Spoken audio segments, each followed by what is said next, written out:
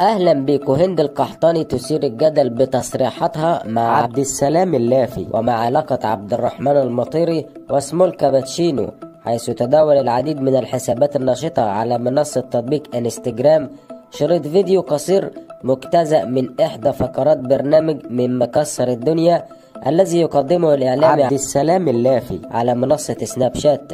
اليوم نبي ننهي ونحسم الموضوع. هل أنت معجبة بالموز عبد الرحمن المطيري؟ أقسم بالله. كتاكيتي لا مو هنا. هذه خليها على الخاص أحسن. طيب وش رأيك أصرف لك روز؟ رويز وتجي عندي لسان دييغو. في رمضان؟ في رمضان؟ العظيم إني صادقة. طيب. وظهر في مقطع الفيديو وهو يحاور الناشطة السعودية هند القحطاني في اتصال هاتفي حول حقيقة إعجابها بعبد الرحمن المطيري و small cappuccino وهو ما نفته جملة وتفصيلا قبل أن تتغزل به. وتعرض عليه سيارة رولز رويس للسفر إليها والزواج منها.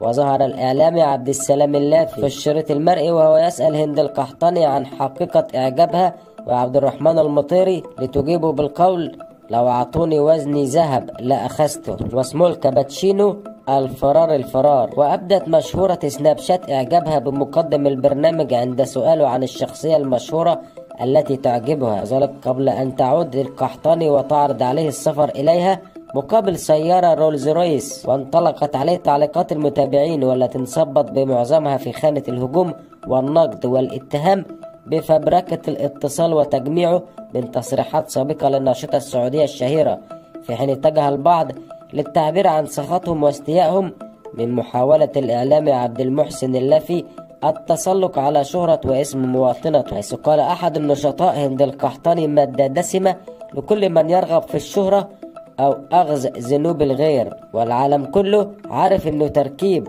ويتمسخر وهو مجمع تسجيلاتها. والتعليق آخر للعلم عبد المحسن مسوي البرنامج ينتقد المشاهير بحس فكاهي. مو هي اللي دج عليه. وواضح وضوح الشمس إنه تركيب.